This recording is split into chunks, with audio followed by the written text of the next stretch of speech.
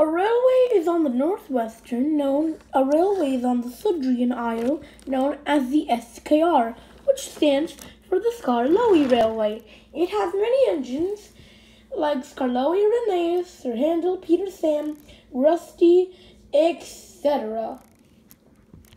Today, one day, Skarloey and Rheneas were, well, Skarloey was going to get a passenger train. Rheneas was shunting some wagons. Rusty was sitting in a siding doing waiting for maintenance, and Ivo he was shult, was shunting a van full of supplies. Next to them, a standard gauge engine was leaving with, with some supplies that had just been loaded into their into the engine's car from from Nathis, and he was he was he swapped lines and was now next to Skarloey. They were both waiting patiently when they heard some. They heard a noise dra- go through the, the area.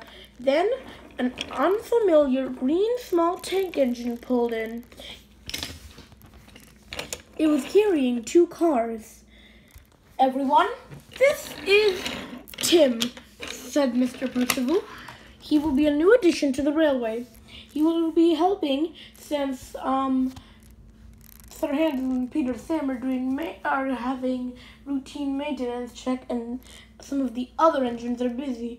Right now, the only engines we're having on this railway are Sir Skarloey Rheneas, Rusty, Ivo Hugh, and Duncan, as well as Tim now. Now, I need you all to try to make sure Duncan doesn't give any snide remarks to our new fr- friend on the railway. Ew, what is this? Oh no. Ugh, this small engine.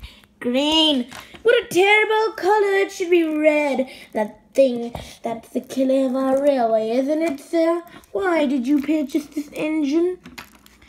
Duncan, that's enough. This engine will be working with us on the railway as Sir Handel and Peter Sam are in the works for their for their boiler. Certificate has expired. Oh, Ew, I whatever. I'm gonna get back to school. Goodbye, y'all. And Duncan rolled away. Well, he didn't hurt him yet. Give it time, said Tim. The engines were flabbergasted about this. But then Rheneas saw something on the side of his tank. 13. And it was April the, the 12th. And soon the next day would be Friday, Friday the 13th. The next day soon arrived, and the engines were peacefully sitting in the sheds. Duncan knew it was Friday the 13th, and he soon saw Tim. 13, eh? Well, good luck. You're gonna need it. oh, shut up, Duncan.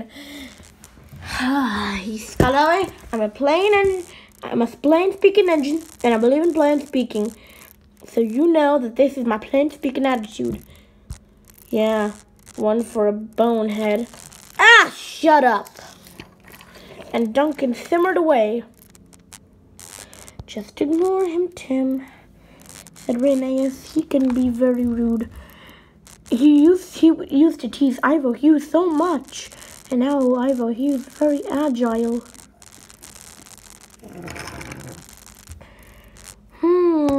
I'll try to deal with another one of them. Another one? Dun dun dun. Oh, Rusty.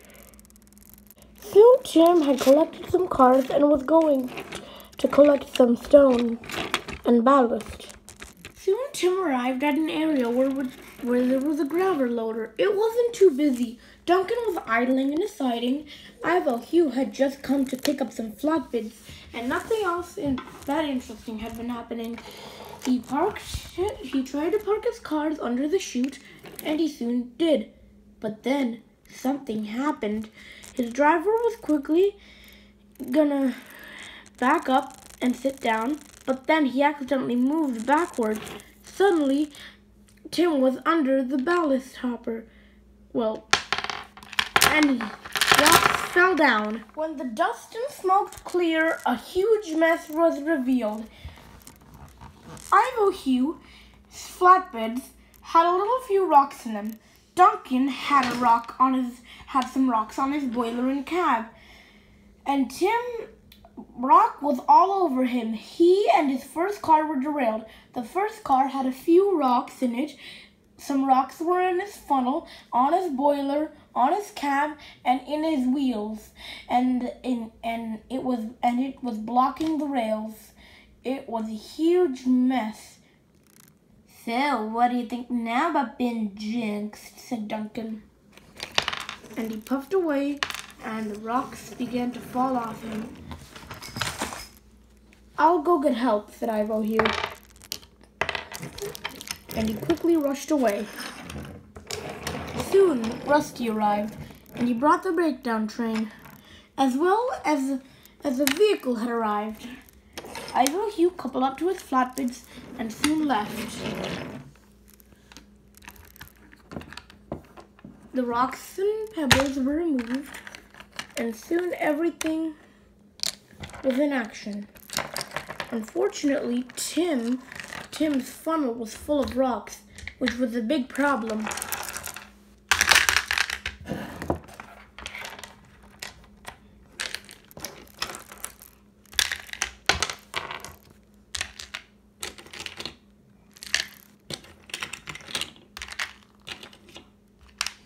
Rocks were take, taken away and used for other parts. Tim had some rocks stuck in between his boiler and funnel, and he would have to go get, and, and Rusty would take him away. I'm so sorry, Tim. Hmm, don't worry. And Tim was taken away. It didn't actually take long, as the only thing that happened was, was his funnel had to have a nice clean out. Nothing was damaged, and soon Tim was back to work in the same day of Friday the 13th.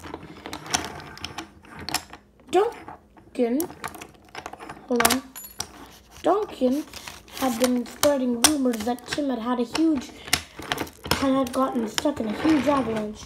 Of course, they knew they, they weren't true.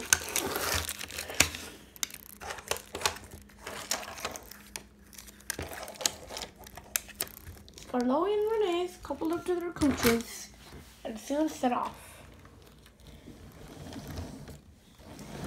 As they had been doing, we're going to do the passenger trains. Ivo Hugh had finished his, his run of, of bringing supplies to the standard gauge railway, and he had left the flatbeds on a siding.